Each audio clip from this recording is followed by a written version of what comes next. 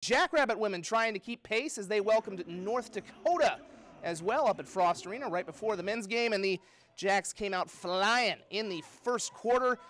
North Dakota native Tylee Irwin for three as the Jacks are on the board first.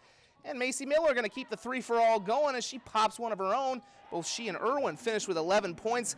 They were working on the inside as well as the outside. Uh, yeah, kind of a tough day for UND fans who made that long trip from Grand Forks. That's Aberdeen's Paiton Burckhard as the Jacks get out to a 10 0 lead. And you can make it a lucky 13 when Madison Guebert drills a three ball money ball. She had a game high 19. And the Rabbits roll 81 to 58.